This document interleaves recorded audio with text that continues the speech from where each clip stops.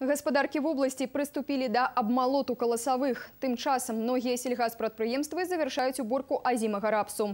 Увогуле гэтую алейную культуру сабралі на палове пасеяных плошчаў. Сярэдняя ўраджайнасць па вобласці да 19 цэнтнераў з гектара. А вось у сельгаспрадпрыемстве рассвет імя Арлоўскага кіраўскага района і ў калгасе гігант бабруйскага кажуць пра небывалы ураджай рапсу.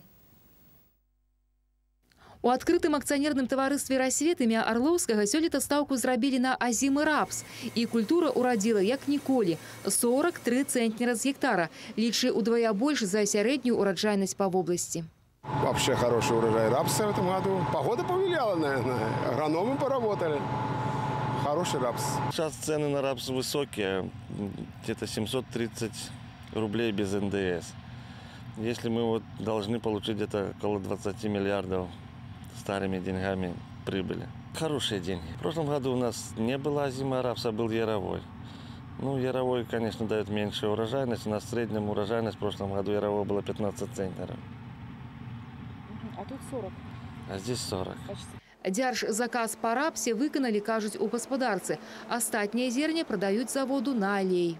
Будем закупать материально-технические средства для э, окончания уборки и для посевной кампании. За рапс рассчитывается сразу, но мы часть рапса будем оставлять для того, чтобы обеспечить э, животноводов э, крупнорогатый скот белком, поэтому часть уйдет на приобретение белка для КРС.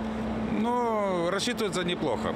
Небывалы сёлета ураджай азімага рапсу і ў калгасе гігант бабруйскага района да 53 цэнтнераў з гектара. А тут алейную культуру вырошчваюць менавіта на насенне. С сегодняшнего дня мы начинаем чистить рапс и готовить семена для реализации другим хозяйствам области, района, в республике. И хорошо было, если бы нам разрешили и за рубеж продавать.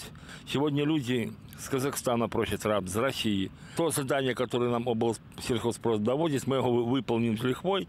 Сельгаспрадпрыемства гігант бабруйскага района будуе свой камбікормавы завод, а яшчэ плануе вырабляць алей, таму на лета будзе павялічваць плошчы гэтай стратэгічнай для Беларусі культуры.